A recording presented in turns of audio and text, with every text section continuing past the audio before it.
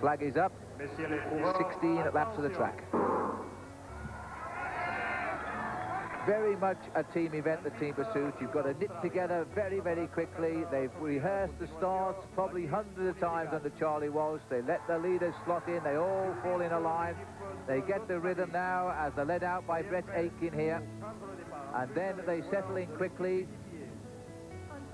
They'll do either full laps or half laps. It depends how they sense the strength of the team. They'll also be receiving signals from the trackside as to what to do The team doesn't ride alone. Stuart O'Grady has the front line now. We're looking for a time through the opening kilometre. If they're going to be on one of these record rides, or really even qualifying, they must be through in one minute seven seconds to be in with a chance of qualifying. One minute eight will be very, very dicey indeed because New Zealand are hovering near the end of the qualifiers and they've returned to 4 minutes 21.145. When we see the kilometre check, which will be the next time through. We want to see exactly whether we can beat a one. Here it comes. Oh, well, can we beat it? 1.6.49. We're on the world record here. 1.6.49 for the Aussies. They are fractions of a second outside of the Italian world record done earlier. This young Australian team are on a cracker now. What a team this is.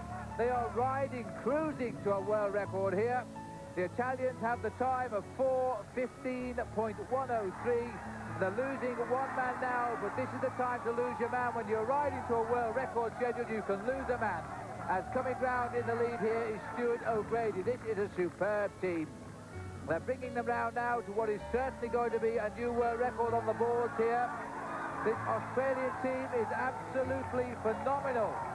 As they come round towards the bell this time and Charlie Walsh just walked along the base there. Where he stands on the track tells them where they stand on the schedule. He has given his fist in the sky saying you're going to a world record. You are going to a world record. As they come round the world record today is 4.15.103 look at this one 4.11.245 that is a world record and an Olympic record which was faster than the world record the Olympic record was 4 minutes 13.3. The world record was 4.16.1. I'll explain that anomaly to you later. They're away this time. The Germans are now on the second but this team led out by Michael Glockner, Jens Lehmann, Stefan Steinweg and Andreas Walzer. The only team left now who can spoil a perfect debut tonight for the Australians They've set a world record time. The question now as to whether the Germans, the world champions, all four of them taking the title last year, it's exactly the same team in Stuttgart, whether they can now take on this tremendous Australian team and take the world record away for them, or even if they do that, of course, they will qualify fastest. And I wonder when it was the last time, the last team to start had to set a world record to qualify fastest for the quarterfinals, which will also take place today ground. I think it's to the bell this time. It will be to the bell this time. One lap to go. Well, one thing's for certain now. The Australians have started off and they couldn't have hoped for a better start. They have set a world record and will qualify with the best time of the evening. They now go into the quarterfinals. But there's equally so 4.14.934. Tremendous last kilometre by the Germans. Absolutely stunning last kilometre. They would have set a world record, but the Australians beat them to it. They are quicker than the Italians, but it won't be called a world record because Australia set the mark earlier tonight with a 4.11.245 but they've qualified second best in this competition. And now the Australians can expect to face Czechoslovakia in the quarterfinals later tonight. Match now for a place in the semis. And what has happened is that the Australian team of Brett Aitken, Stuart McGreed, Stephen McGlede and Brett Aitken, Stuart O'Grady and Shaun O'Brien, they have come through with the best time in the in the openers and they're now up against Czechoslovakia here in the first round proper. It's sudden death as a knockout. We have just seen the German team catch the New Zealand team and put them out of the competition. But now we expect something far, far better from the Australian team and they are up by almost three quarters of a second as we head out towards the first kilometre. Well, they altered the start very slightly. They had Brett Aitken lead them out, and as far as I know, they reversed the decision to start with Brett after that world record time. They moved him up to number two. But it really, look at this, 1.6.203. We are on a world record schedule again, but before we get too excited, You can't set a world record when you have another team on the track. They could certainly set an Olympic record, which stands at the same time now, 4 minutes 11.245. And this Australian foursome is absolutely electric. They couldn't ride closer together. The wheels are almost hugging each other. And they're already in almost the same straight as the Czechoslovakian team. They are almost on the back of the Czechoslovakian riders. This has been an unbelievable night for Australian cycling. A world record that set the ball rolling with this very team. Then Kathy Watts, who was given the Olympic record when she qualified fastest in the women's 3,000 metres. Then Gary Neiwand winning in two straight rides against Curtis Harnett. He's in the semi, he's in the finals tomorrow. And now we are watching this foursome uh, go through here. They're about to go over the top of the Czechoslovaks, and that will put them in the semi-finals tomorrow. There's no holding these these riders tonight. They can't put a, a wheel in the wrong place on this velodrome. There they go, as smooth as you like. Whoops, watch where you turn when the team comes over. The Czechs have been swamped in just three minutes of riding here. And the Aussies continue smoothly, and the Czechs don't seem to realise what is going on. This is quite dangerous at the moment. They really, the Australians were lucky to come away unscathed from that. So they surely, the Czechs must have heard those wheels of the Australians coming through. They are riding on for a time which will give them their placing in the semi-finals tomorrow. But the way they're riding tonight, they will stay away from the Germans and they will take either Italy or Denmark in the semi-finals and that is what they will want, save the best to the last and then they should get their teeth into Germany. So they continue on the track now as they come to the bell this time. We're looking out for a good time as well at this stage. Three, uh, eight they've gone through, and the Germans and the Australians have gone through quicker than that in 3-7. They really seem to be the best team in this uh, pursuit. There's no question about that. We're going to see another great time. It's going to be an Olympic record this time. They've gone inside the world record, which is 4.11.24. It cannot be a world record, but it will be an Olympic record, and I can't remember when an Olympic record was better than a world record, but that's what they've done now. They're saying world record on the screen, but they do get confused here at the stadium. It is only an Olympic record, and I say only. Lead, Shaun O'Brien and Stuart O'Grady are facing Michael Glockner, Jens Lehmann, Stefan Steinweg and Guido Fulst of Germany, the defending world champions aiming for an Olympic gold. The one team that stands in their way, and they've beaten them at every post so far, is this young Australian team who will leave the Barcelona Velodrome with the world record the fastest team ever on the track outdoors.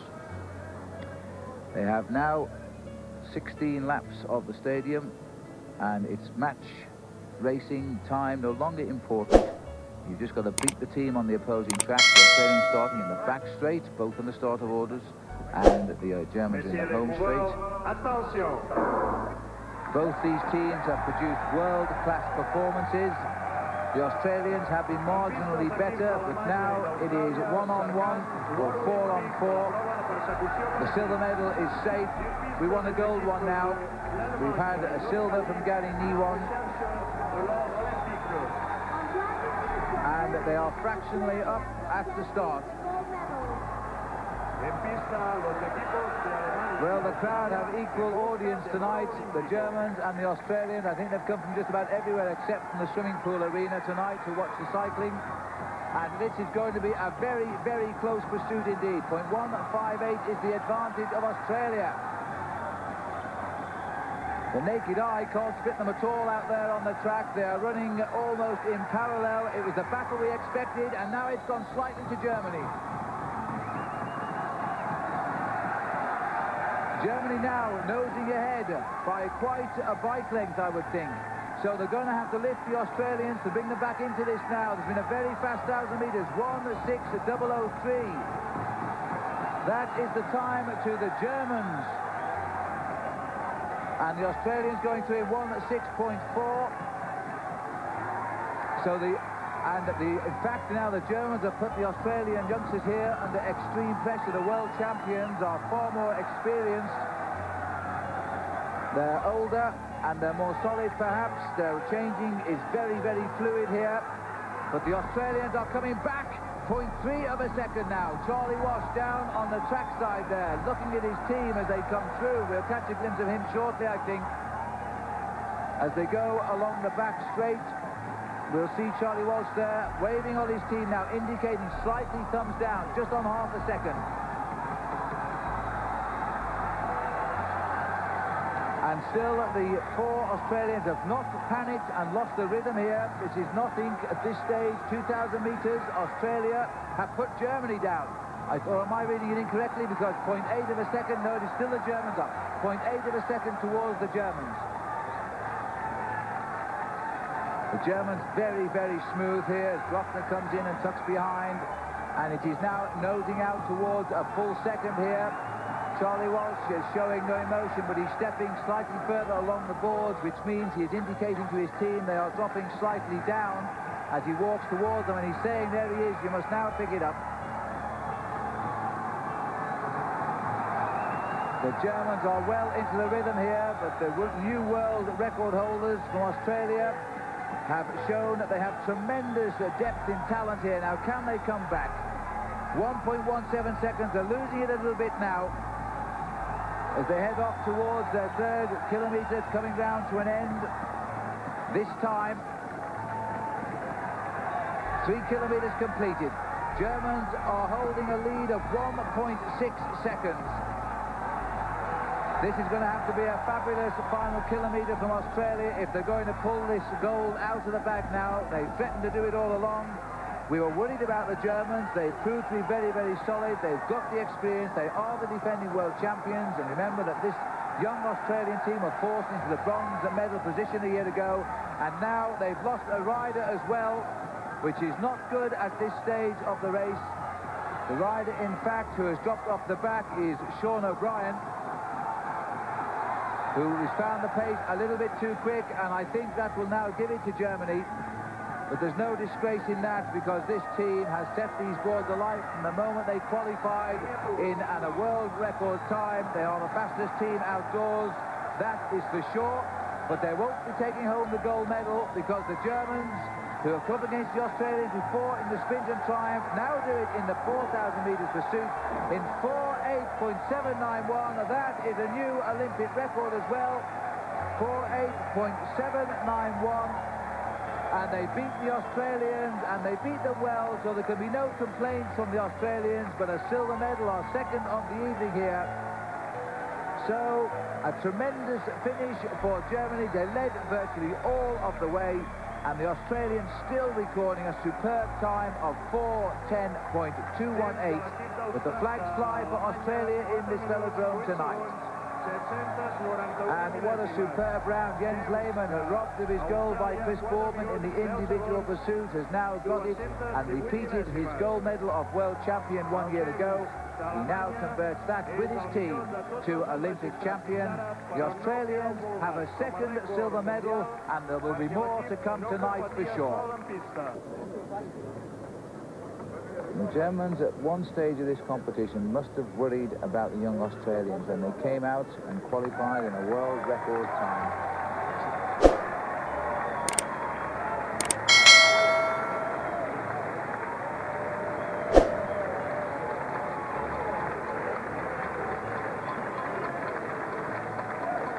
Olympic champions jersey for the four Germans. Jens Lehmann gets a gold medal to match his World Championship medal of a year ago.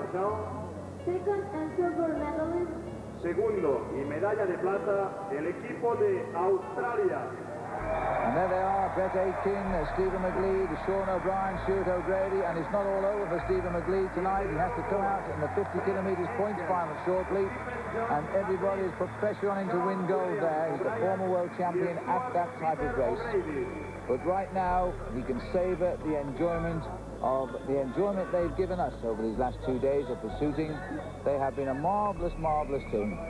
He started the qualifying with a 4 minutes 11.245 seconds world record time and one or two of you have contacted us and said is it really a world record because the rules are changing and it is confirmed I've spoken with the world body here it is a world record and will go in the books. At 4 minutes 11.245 seconds. The Germans did a faster time in the final 4 minutes 8.791 but that will not be a world record because at the moment it was in competition against another team, although the rules are in the process of being changed for the future. Ray Godkin there, uh, the president of the Australian Cycling Federation, presenting the flowers. And what a happy man he is this week in the stadium as he's seen these riders ride so well in every event. The young faces of a very young team. They'll be back. Troisième et médaille de bronze. Silver and bronze medalists. Tercero y medalla de bronce el equipo de Dinamarca. And this was a great ride too by Denmark. Ken Frost, his brother Dan is up in a minute and he will hope to take gold in the 50 kilometres points. He's a past Olympic champion, defends his title in that event. But right now they're taking the bronze medal here as the best losers. The fastest team in the ride-up in that semi-final. There's no ride anymore for bronze medal. The fastest losing time gets bronze.